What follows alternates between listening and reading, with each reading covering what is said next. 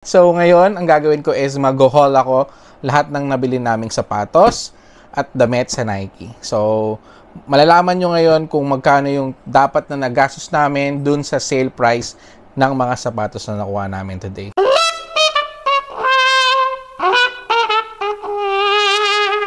So, let's start with this one. Ito muna. Ano ba sapatos to? Women's Nike React Escape Run 2. So, wait lang. May meron tayong kodigo dito kung magkano to. Itong sapatos na to ay para sa mother-in-law ko. So, tingnan nyo kung gaano to kaganda. Pang zumba-zumba at pang running-running niya. Ayan. Kita nyo guys. Kita nyo. Ganda. Ang color niya is University Red. So, mukha siyang pink pero red yan. So, ang total price nito sa online is 9,399 yen. Pero nakuha uh, ang price doon is 5,999 yen lang. Pero meron kaming 10% discount so total ng binayaran namin is 5,399 yen lang for this type of shoe. Tignan nyo, sobrang ganda, di ba? So this one is uh, Nike Dunk High Retro. So kaninong sapatos to? Kanino kaya? Mukhang akin ta. Sheesh! Sobrang ganda. Ito yung pagpasok ko doon, ito agad yung una ko nakita, binili. Sinukat ko kagad eh. Kasi dal parang dalawang piraso na lang ata to, naka-sale siya. So dalawang piraso na lang, kinuha ko na kagad tong isa. Sakto, size 10 siya. Saktong-sakto sa paa ko. So, guess what? Ang price nito sa online store ng Nike is 16,500 yen. So, sinasabi ko yung price ng yen, pero ipapaskin na lang dito kung magkano yung conversion niya sa Philippine peso. So, 6,500 yen siya, pero alam niyo kung magkano lang to? 9,999 yen. So, parang isang lapad na lang siya. Meron pa siyang 20% discount. So, ang total price na lang na nakuha namin sa sapatos na to is 7,999 or 8,000 yen. So, sulit na sulit, guys. Mm, 8,000 yen lang, guys. Saan ka makakakita niyan? So, next is, ito. Women's Nike Air Max System. So, so sapatos na to, eh, kay Freya. So, ito. Kita nyo, Air Max. Ang ganda, no? Air Max pang sayo daw ito kasi sayo siya ng 7 sa Shibuya. very comfy. ah, very comfy daw to kaya niya to pinili. Kaya nagsukat siya. Sobrang daming sinukat na sapatos pero ito yung nagustuhan niya. Kasi una, comfy tapos uh, okay yung price niya tsaka kulay green. Mahilig siya sa kulay green na yan. No? The color is white slash volt. So, ang total price niya talaga dapat is 11,550 yen. So, nakuha lang siya or ang price na lang is 4,999 yen lang. So, kalahating lapad lang siya. Oh my God! Wow! Pero, meron kaming 10% discount from Nike app. So, pag bibili kayo doon, uh, mag-download kayo ng Nike app sa outlet para mayroon kayong 10% discount. So, 4,499 yen na lang. So, from 11,550, 4,499 yen na lang siya. So, ito. Tingnan ulit. Solid, no? Sunod naman muna natin to. Next, Nike, Nike. As no, I, I promise, like, and even even it's it, it was it's a Nike Precision 5. So, this one is for Daddy Nest store. Sa father-in-law ko. So, pasalubong namin sa kanya. Diba? Sobrang ganda. So, for this one, ang price talaga nito is 11,990 yan. So, parang 12,000 yan na rin siya. Pero, guess what? Magkano lang to doon? 5,999 yan. So, 10% discount pa. Of course, 5,399 yan na lang namin nakuha tong sapatos na to. Isa sa mga favorite ko nakuha today. Nike Air Force 1.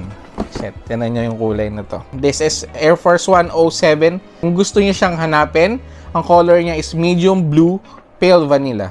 So, ito siya. So, magkano siya? 12,199 sa online or sa website ng Nike, ganun.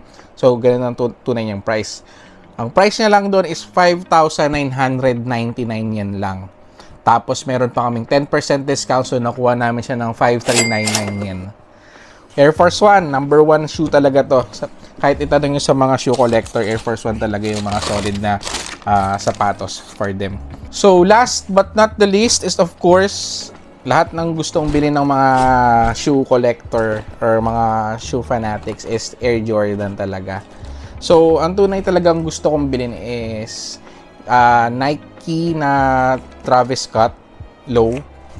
Kaso, ah, hindi siya available doon. Nagtingin na rin kami sa ibang store, ABC Mart, wala rin. So, online lang siya nabibili yata sa ngayon. So, ngayon, ito na lang muna yung binili ko. Poging-pogi. Kasi napogian talaga ako eh. Ginagamit ko po yan pampasipag po. Pampasipag? Pampapogi. Ikaw na ang pinaka Gwapo na binata sa aking mata Jordan Courtside 23. Ayan. Kita niyo yung kulay. Angas, no? So, ang kulay niya is desert slash baroque brown. So, ito siya. Kita niyo. Pogi, no? Wala pa akong ganitong kulay na sapatos, kaya ito talaga yung binili ko, brown. Stigo, ito si Michael Jordan. Dadakdakan kay sa mukha niya. Pag suot nyo to.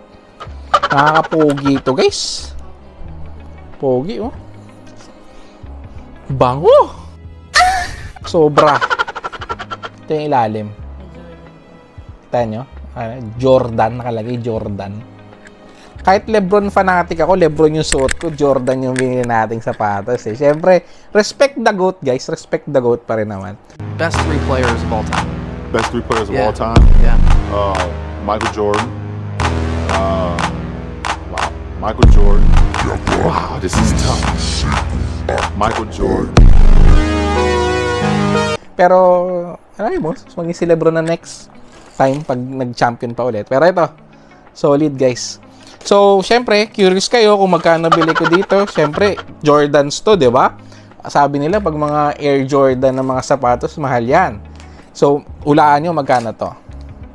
Bigyan ko kayo 3 seconds. 1, 2, 3. Naku, mali. Mali, mali, mali. Mali, mali. What? Price nito online is 15,499 yen. Hindi siya ganun kalaki yung presyo na binaba niya since Air Jordan to. Ang price lang talaga niya is 13,999. So parang 2,000 al- almost 2,000 yan lang yung binawas. Pero since may 10% discount kami, 12,599 na lang. So kahit na ganun, 'di ba? So parang mga magkano 'yon? Almost 3,000 yan. 3,000 yen yung na-less ko dito. Kung sa peso yung 3,000 yen is around 1,200 pesos. Tama ba? O yeah. So, ito yung mga sapatos na nabili namin. At syempre, bago ako umalis doon, syempre, bumili muna rin ako ng t-shirt. Ayan, just do it. Yan, bagay na bagay sa akin yan. So, ang price nito is 1,999 yen. Ayan, ewan ko, nakikita nyo ba yan? So, meron kaming 10% discount. So, 1,799 yan na lang siya. So, 200 yen less din. So, goods. Goods na goods. And this one, isa pa. Nabili kong t-shirt. Black naman.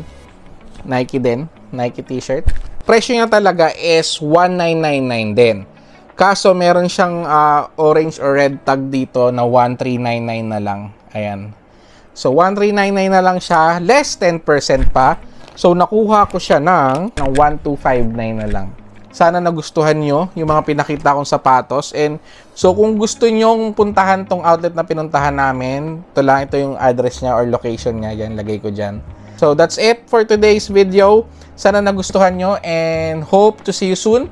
Don't forget to like, comment, and subscribe to my channel. Bye! Ciao! Mata ne!